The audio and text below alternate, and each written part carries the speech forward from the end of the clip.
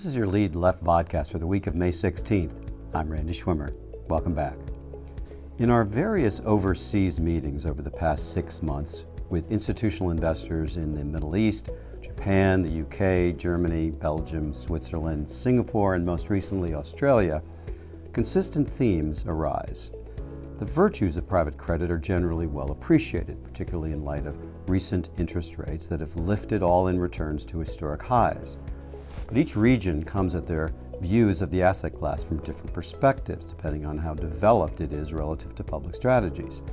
In MENA and APAC, banks dominate lending, while the EU and UK have seen more disintermediation to private debt over the past decade. But the story of institutional investing in Australia is superannuation funds. These public pension vehicles, almost 50 in number, with 14 major ones, have generally replaced what in the U.S. would be state retirement funds.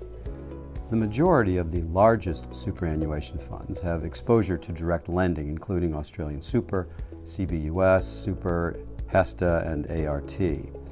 Much of that is allocated to European debt and is centered around commercial real estate, leverage loans, subnotes, and securitization facilities. Also, as in Europe, there's been a heightened awareness of ESG as both positive and negative screens for investments. Relative to other asset classes, private debt is a small share, roughly 5%, in a typical portfolio. Public equities represent around 53% of the total, with 19% fixed income and 16% property and infrastructure. The balance is comprised of private equity, hedge funds, and cash. Private debt's allocation is expected to grow to 20% over the next decade.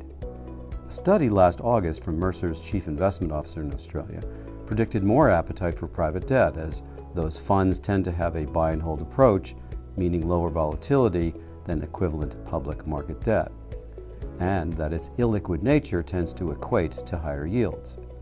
Fund managers in Melbourne and Sydney are looking ahead. How will leveraged borrowers deal with shrinking interest coverage and higher defaults? If funds or borrowers are looking to extend or tighten terms, isn't that the sign of the beginning of a down cycle?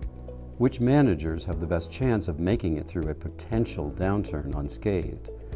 Nevertheless, experienced credit investors we spoke with like the current credit crop. We had pulled back from private debt because we didn't like the value proposition, one told us. Yields didn't seem to match the risk. Now it's better. Another wondered how far improved all-in yields could go. Is this as good as it gets?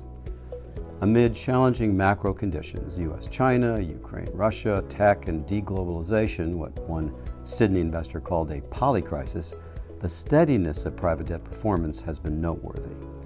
Our goal is to invest, set, and forget, a fund head reported. Private debt helps.